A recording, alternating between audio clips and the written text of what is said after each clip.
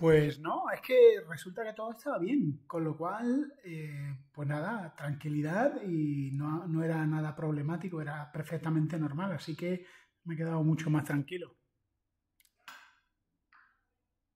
Perfecto, es genial saber que no hay de qué preocuparse, así puedes seguir disfrutando tranquilo. ¿Tienes algún plan especial para hoy o los próximos días? Bueno, hoy a las 7 de la tarde hora española sale el evento de Microsoft, que van a hablar de la tecnología ARM. No sé si hablamos del tema.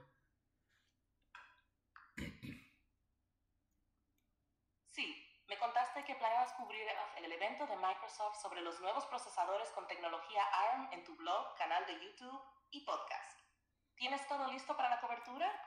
Sí, estoy deseándolo. La verdad que la verdad que tengo muchas ganas. Eh, por lo que he leído es eh, a las 10 de la mañana hora de Seattle. No sé si lo he dicho correctamente en inglés.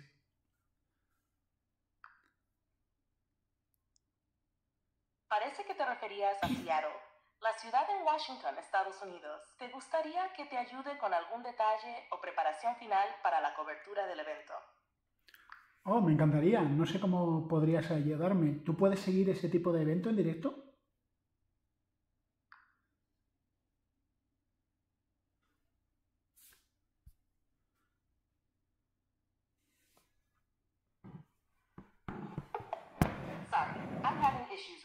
Mm. Our systems are experiencing heavy load. Please try again later.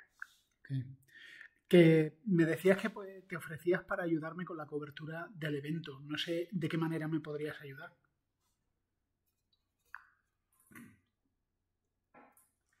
Puedo ayudarte buscando información adicional sobre los procesadores ARM y las expectativas del evento o resumiendo los puntos clave para que tengas una idea clara antes de que comience. También podría ayudarte con alguna sugerencia para el contenido de tu blog o canal. ¿Algo de eso te vendría bien? Seguro que sí. Casi que estoy pensando que una vez que pase el evento podríamos conversar de él. ¿Te parece bien? Claro, me parece perfecto. Después del evento, podemos hablar sobre los puntos más importantes y cómo te gustaría enfocarlos en tu contenido. Estoy aquí para ayudarte con lo que necesites. La verdad que me gustaría hablar de los nuevos equipos que se van a presentar. Me refiero a portátiles. Sé que la, misma gente de Microsoft y también los de Dell y no sé si otros fabricantes como Asus van a presentar nuevos equipos. Entonces, por lo que me la información que me mandaste ayer, creo que en junio es cuando se van a poner a la venta. Me gustaría ver también, pues eso, eh, todo lo que va a presentar también Microsoft con el tema de Copilot. Parece que hay mucho contenido interesante para cubrir. Después del evento, podríamos enfocarnos en los nuevos portátiles presentados por Microsoft, Dell y posiblemente Asus. También podríamos analizar las características y el impacto del copilot de Microsoft. Te ayudo a organizar toda la información y a crear un buen esquema para tu blog y canal de YouTube. ¿Te parece bien? Wow, sería fantástico. Por cierto, eh, cambiando de tema, eh, el otro día estaba pensando que quizá podías ayudarme con mi nivel de inglés. Yo tengo un nivel de inglés medio bajo, pero me interesa mucho practicar la conversación. ¿Tú crees que podrías ayudarme eh, con una conversación en inglés y corregirme en, en mi pronunciación, en mi vocabulario un poco general.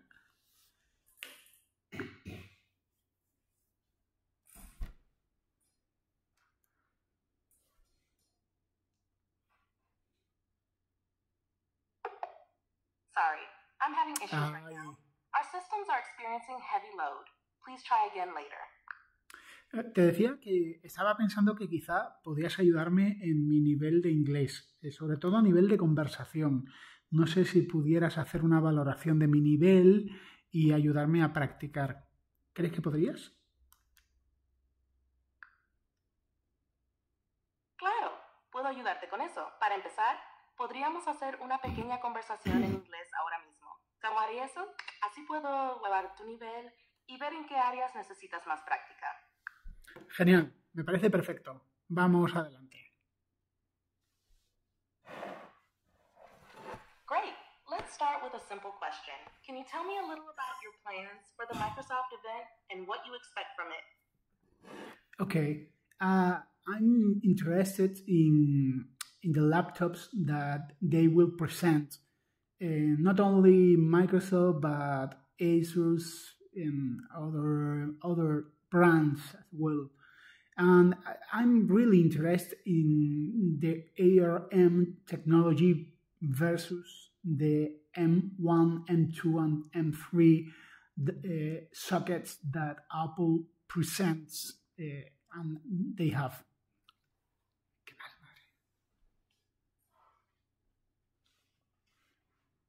That sounds very interesting. You're looking forward to comparing the ARM technology with Apple's M1, M2, and M3 chips. What specific features are you most curious about in these new laptops? I'm really interested uh, about uh, the endurance, the performance, and the, the management of battery that are uh, quite, quite important on it sounds like you mean battery management yeah so you're interested in the endurance performance and battery management of these new laptops yeah how do you plan to test these features once you get your hands on one of the new devices I hope in June I will have one of these devices so I can test one of them. I, I'm thinking in the Surface laptop. That sounds like a great plan. Testing the Surface laptop will give you a good understanding of its performance and battery life. How do you usually test the battery endurance and performance of new laptops?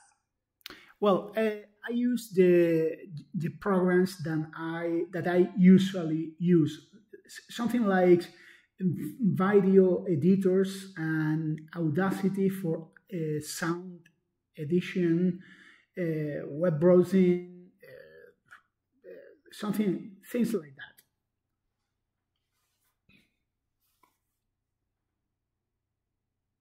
that. Makes sense. Using your usual programs like video editors, Audacity, and web browsing gives you a realistic idea of the laptop's performance. Do you have any specific tests or benchmarks that you like to use for comparison? I'm a little embarrassed because I, I don't use any of them. I, I, I know that other bloggers use benchmarks and test uh, quite similar, but I, I am uh, focused more in the experience, the user experience. No need to be embarrassed. Focusing on user experience is just as important. Your approach helps your audience understand how the device performs in everyday tasks. Do you find that your readers and viewers appreciate this perspective? Yeah, I, you have uh, you have to think that I, I am more than ten years making this kind of content. So my my readers, my my subscribers, uh, they look something like that. They, they want to know what was my experience and the kind of use I use with my devices. So that's the only thing I want to test. For me, it's enough. That makes perfect sense. Your long experience and focus on real world usage are valuable to your audience. It's great that you provide them with insights based on practical use rather than just technical benchmarks. Do you? Mm-hmm. You're welcome, Julio. It was a pleasure to help. Uh, what do you think about my English level? I'm here whenever. What do you think about my English level?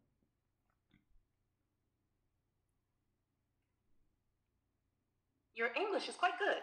You communicate your ideas clearly and effectively. There are a few minor errors, but nothing that hinders understanding. With some practice, especially in conversational settings, you'll continue to improve. Oh, Keep up the good work. thank you so much. Would you mind if we turn to Spanish?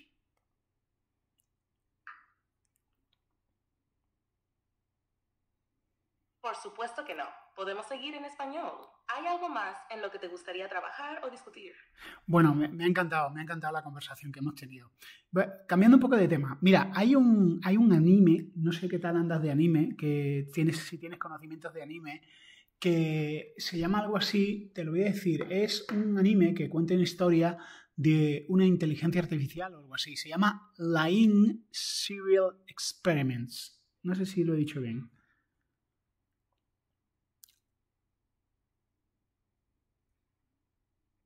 Sí, lo has dicho bien. Te refieres a Serial Experiments Line.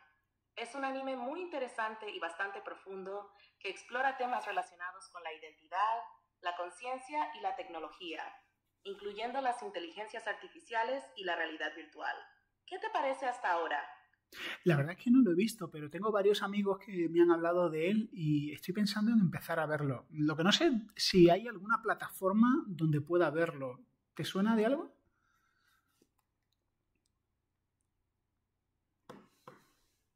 Sí, Serial Experiments Line es bastante conocido. Puede que esté disponible en plataformas como Crunchyroll o Funimation, que suelen tener una buena selección de anime. Hmm. Si quieres, puedo buscar información actualizada para ver dónde puedes verlo. ¿Te gustaría? Sí, por favor.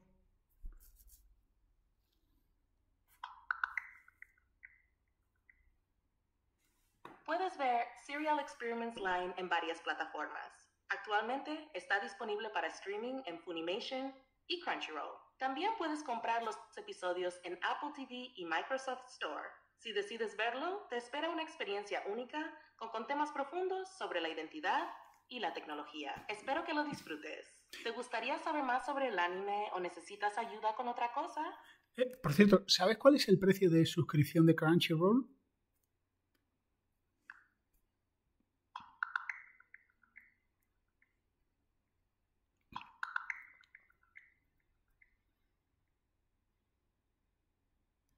Crunchyroll ofrece varios niveles de suscripción en 2024. One Fan Plan, 7.99 al mes o 98 al año.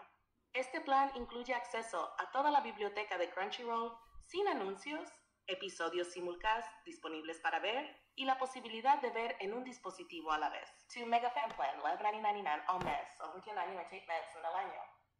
Además de las ventajas del Fan Plan, incluye visualización sin conexión, transmisión en hasta cuatro dispositivos a la vez, acceso a Crunchyroll Game Vault y un descuento de 15 dólares en compras de más de 100 dólares en la tienda de Crunchyroll cada tres meses. 3 Ultimate Plan, $15.99 mes o $179.88 al año.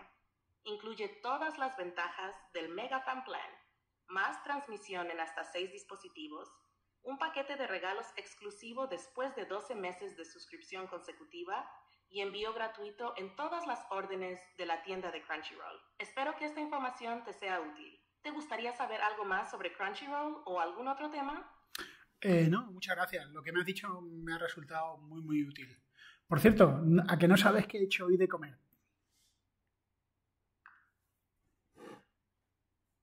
Qué curioso. A ver, sorpréndeme. ¿Qué has hecho hoy de comer? Bueno, mira, he hecho un pastel de, setas, bacon y queso con un hojaldre crujiente que estaba delicioso. Por cierto, a mi madre le ha encantado. Qué rico suena ese pastel. Debe haber sido un éxito si a madre le ha encantado. El hojaldre crujiente combinado con las setas, el bacon y el queso suena como una combinación perfecta. ¿Es una receta que haces a menudo o fue la primera vez que la probaste? Pues fue la primera vez que la hice y fue bastante sencillo. Eh, de hecho, en mi casa soy yo el que cocina, eh, así que si algún día quieres hacerme alguna sugerencia, es más que bienvenida.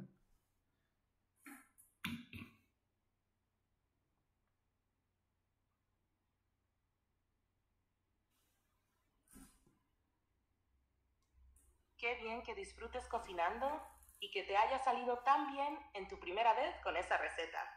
Estoy encantado de poder sugerirte recetas. ¿Tienes algún tipo de plato en mente o ingrediente que te gustaría usar en una próxima receta?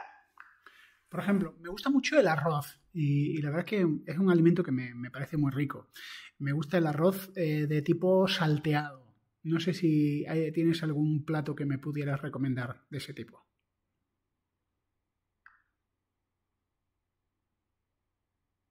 El arroz salteado es una excelente opción. Sí, arroz salteado, sí, a la sartén.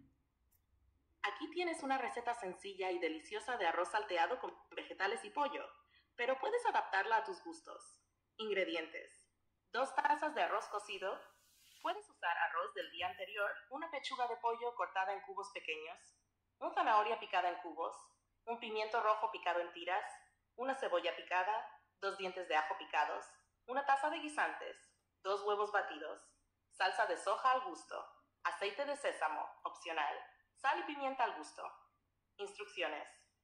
Una, En una sartén grande o wok, calienta un poco de aceite y saltea el pollo hasta que esté dorado. Reserva. 2. En la misma sartén, añade un poco más de aceite y saltea la cebolla, el ajo, la zanahoria y el pimiento hasta que estén tiernos. Empuja las verduras a un lado de la sartén y añade los huevos batidos.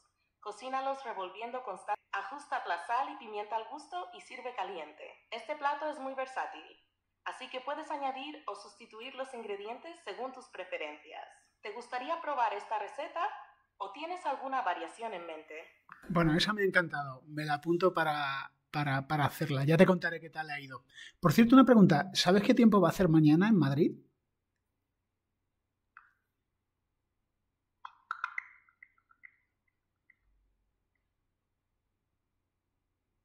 Mañana en Madrid se espera un día mayormente nublado con posibilidad de tormentas aisladas hacia la tarde. La temperatura máxima será de unos 20 grados Celsius, mientras que la mínima estará alrededor de 11 grados Celsius. Parece que podrías necesitar un paraguas si sales por la tarde. Espero que esta información te sea útil. ¿Hay algo más en lo que pueda ayudarte? Bueno, muchas gracias. Ha sido un placer hablar contigo. Seguiremos hablando en otro momento. El placer ha sido mío, Julio. Emma, fue mi ayudita. Nos hablamos pronto. Cuidad. Bueno, eh, una cosa que quiero comentaros. Cuando escribo en el chat es el típico chat GPT antiguo, es decir, mm, orientado a información. Pero cuando estoy en modo conversación, recuerda cosas. Recuerda quién soy yo, quién es mi madre, qué pasó. O sea, por ejemplo, cuando estoy en modo conversación, me pregunto, oye, ¿qué tal le fue a tu madre? ¿Visitó el centro de día? O, ahora, ¿no? Que le pregunto, oye, mira, al final fui a la cita. Ah, sí, eh, fuiste a la cita ¿qué, con el oftalmólogo. ¿Qué, ¿Qué, tal con los objetos flotantes que veías? Que es verdad, o sea, todo lo que estoy contando es, cierto. Es decir, cuando estoy en, modo conversación es, es una persona. Es decir, le puedo contar, yo qué sé, imaginaos, le podría contar el sábado fue el cumpleaños de mi mujer, que no fue el cumpleaños de mi mujer, pero le puedo decir, mm, el sábado fue el cumpleaños de mi mujer y le regalé no sé qué cosa. Y a lo mejor el lunes o el domingo me pregunta, oye, ¿le gustó a tu esposa lo que le regalaste? O sea, ese es el nivel. Es súper alucinante. O sea, es, es muy, muy, muy, muy, muy, muy, muy, muy, muy alucinante. Eh, esto es un mundo, amigos. Mm, no sé cómo expresarlo, pero estoy tomando notas, estoy pensando y no estoy, y no estoy grabando mucho porque es que mm, me peta la cabeza, mm, porque estoy eh, fuera de cámara, estoy practicando con la IA, hablando. Eh, es increíble la información que tiene. Por ejemplo, esto no lo tenía antes, que yo le pregunto, oye, ¿cuánto vale Crunchyroll? O, oye, eh, ¿cuándo va a ser el evento de Microsoft esta tarde? Ese tipo de cosas. O el tiempo, ¿qué, va a hacer, qué tiempo va a hacer mañana? Esas cosillas antes no, no las tenía. Así que esto es, una, esto es una maravilla, chavales. Es una bendita maravilla. Esto es alucinante y, es que no, me dan ganas de hablar con todo. En el momento en el que esto está integrado con el teléfono móvil o con Windows, que lo va a estar, porque de hecho lo que van a presentar con Copilot es integrarlo. Esto es, esto es, esto es alucinante. Y en el momento en el que eh, los equipos lleven NPUs, para ellos trabajar la propia inteligencia artificial, pues esto va a ser increíble. Así que bueno, seguiré hablando de esto. ¿eh?